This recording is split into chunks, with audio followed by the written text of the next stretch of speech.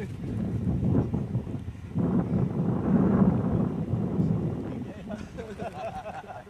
eyes for me. Yeah. So why do they need both